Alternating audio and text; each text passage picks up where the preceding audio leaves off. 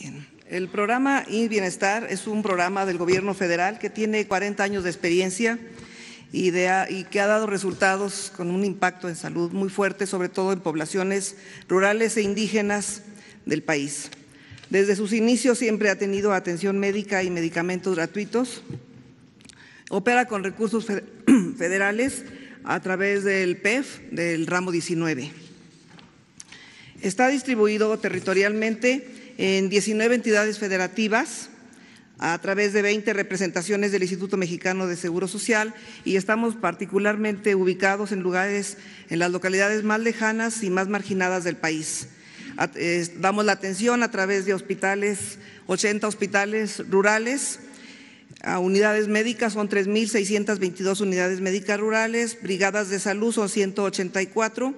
unidades médicas móviles son 140 y a, a través de 45 caros que son centros de atención rural obstétrica, que son espacios atendidos por un médico y dos enfermeras las 24 horas del día para atender a mujeres con embarazos de alto riesgo que en un caso dado de no poder ser atendidas ahí, a través de un radio se hace un llamado al hospital más cercano para que una ambulancia aérea lo saque eh, del lugar donde están hasta un hospital para evitar la muerte materna.